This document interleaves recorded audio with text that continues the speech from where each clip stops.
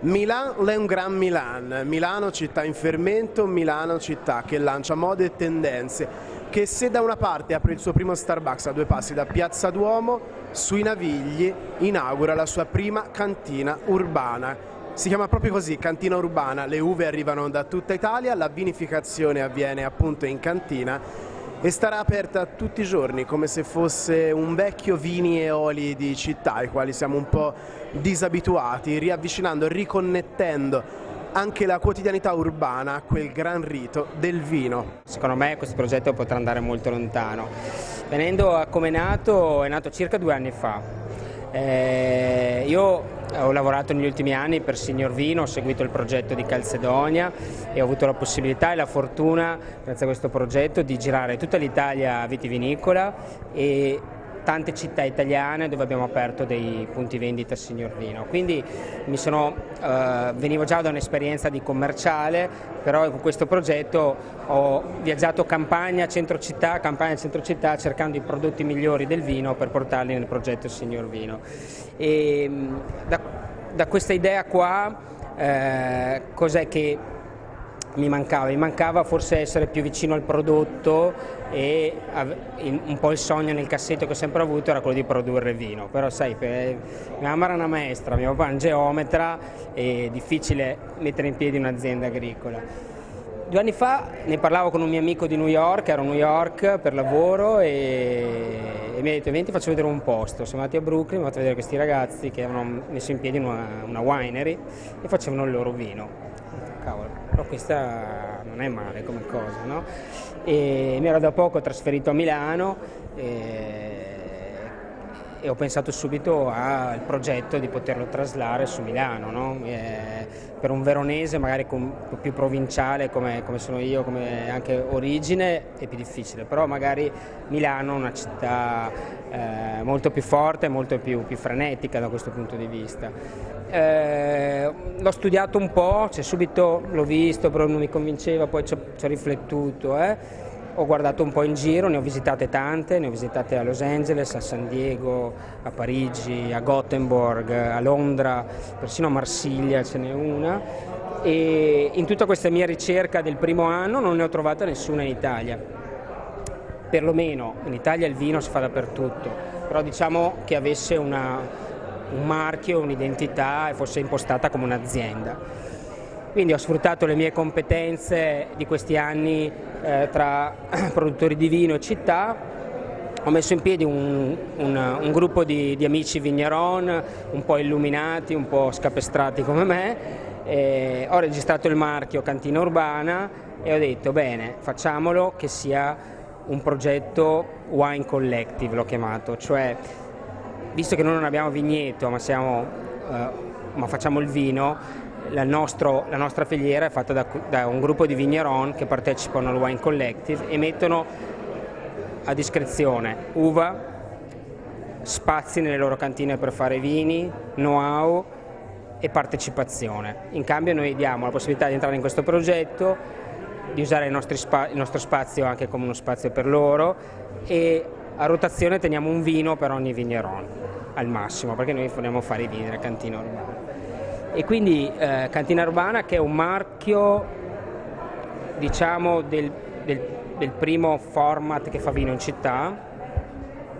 Cosa unisce? Unisce uh, la sacralità del vino che è fatto di uh, comunque una cosa seria, non è che il vino si può fare da improvvisati, è fatto di una serie di controlli, di certificazioni di, e di know-how importante, eh, unito un po' al dissacrante di essere in città no? e quindi alla possibilità di fare un marketing più spinto, di avere le porte sempre aperte e di uscire dagli schemi della comunicazione del vino ordinaria che sono sai, so, lo stemma, la famiglia, eccetera, o il vigneron, noi siamo vigneron, noi siamo un progetto che raccoglie il know-how di tanti vigneron, trasforma quello in bottiglie di vino e le apre al pubblico della città e le vende in città. Quindi marketing abbastanza alternativo, eh, nessuna denominazione imbottigliato in cantina urbana, però Cantina Urbana è un produttore di vino, ha il suo codice, CQRF e tutto quanto, quindi è di fatto un produttore di vino Questo è un po' come l'ho impostata io dal primo giorno di due anni fa che l'avevo vista a Brooklyn, che sicuramente i ragazzi erano un po' più scapestrati ancora di me, non erano così organizzati, però magari adesso si sono messi in regola. E la mia idea di vino è fatta di, di gusto, No? Eh, ne ho assaggiati, ne ho visti tanti e non ne potevo più di vedere cantine, come si fa, eccetera, la storia, lo stemma di famiglia. Eh, tanti passaggi hanno, hanno, sempre tenuto distante il consumatore da questo mondo fantastico, che oggi lo vede ancora un po' distante. Per me il vino è gusto e magari l'aspetto di poter condividere la vinificazione con chi vuole può essere un aspetto per avvicinare anche chi magari si ferma alla carta vini o all'etichetta perché non riesce ad andare oltre quella barriera lì. Magari qua c'è un un po più scanzonati, però facendo le cose fatte bene e lavorando su tante tipologie di vino. Io credo molto nel vino fresco eh, che magari spesso non è valorizzato, anche se è molto importante in Italia. La vendita del vino sfuso è, è, un,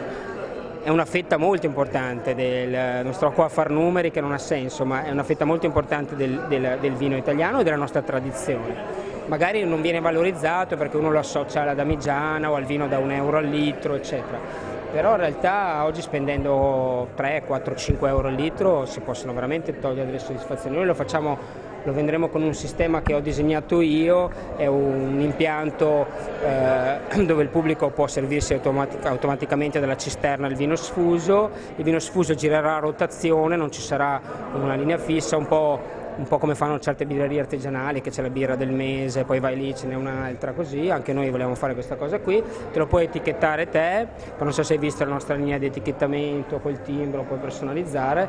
e i vini sono molto freschi, io penso al gusto perché dico, se, eh, cioè se io devo comprare uva o vino da un vigneron che in tutto fa 30.000 bottiglie,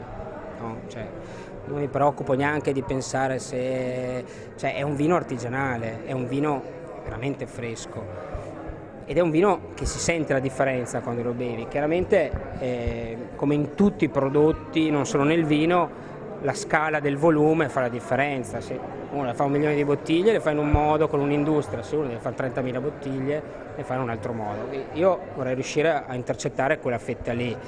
eh, senza però legarmi al concetto del il vino è mio, lo faccio io, il mio è più buono, quello del vicino non è buono, eccetera. Quindi noi siamo aperti a tutto e speriamo che questo modo di fare serio ma anche un po' così eh, diciamo scanzonato avvicini anche le persone. Ecco, questa è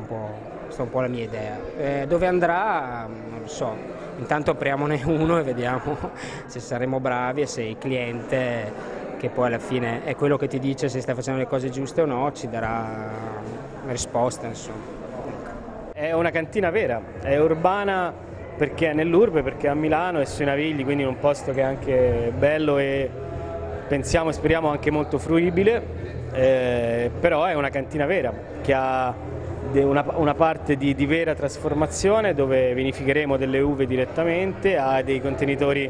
di affinamento e di fermentazione come le anfore di terracotta toscane, l'impruneta e le barrique, quindi ha un progetto enologico alle spalle che è vero, è serio e che mi fa molto è un grosso piacere far parte di, di questo team e di questo progetto. Primo vino prodotto e prossimi vini, da dove arriveranno le uve? Allora, eh, i vini che faranno affinamento in questo momento, che sono già in affinamento nelle, nelle anfore, sono, vengono dall'Oltrepò Pavese, Riesling e poi un, un, blend di Croatina e Barbera. Abbiamo fatto una piccola vinificazione di, di Corvina, eh, Valpolicella e lì faremo una macerazione in anfora, fermentazione spontanea e macerazione in anfora. Poi man mano ci saranno vini appunto per, eh, che arriveranno anche dagli altri vigneron con i quali abbiamo collaborato per, per creare questo progetto. C'è già del Grillo dalla Sicilia e poi altri vini che arriveranno anche dalla Toscana. Fa grandissimo onore far parte di questo, chiamiamolo gruppo di lavoro, amici, io sono sempre stato fuori, però quando Michele è venuto da me mi ha detto guarda voglio fare questo progetto, voglio fare una cantina a Milano, poi io ho detto geniale, ti, porto, ti faccio conoscere anche persone che magari, che so, magari ci possono mettere anche dentro, nessuno ci ha messo dentro niente, però abbiamo, cioè, l'ho aiutato dall'inizio, per cui questa cosa l'ho veramente vissuta da, dall'interno e penso che sia geniale, penso che sia una cosa che serviva a Milano, serve all'Italia perché comunque siamo un paese che produce vino e nelle città veramente non c'è questa non viene portata questa tradizione. Secondo me eh, no, è un'idea secondo me fantastica e poi adesso chiaramente la cosa deve partire, deve, deve prendere e poi come tutte le cantine deve, deve, prendere forma. Anche per esempio la cantina che ho a casa mia ci è voluto tanti anni per farla diventare quello che è, quello deve diventare parte di te, per cui eh, penso che se veramente c'è quella passione che hanno questi ragazzi e la, e la trasmettono ai, ai, clienti diventa veramente una cosa molto interessante. Intanto mi ha detto che questo diventa il mio ufficio, per cui sarò qui spesso a tipo, spippolare. Perché io ho famiglia a Milano, però mi tocca fare un po' il pendolare in Toscana con l'azienda, per cui eh, quando sono a Milano cerco sempre un po' questi posti così dove parcheggiarmi a lavorare, per cui questo sarà un po', gli ho già chiesto se posso venire, mi ha detto di sì.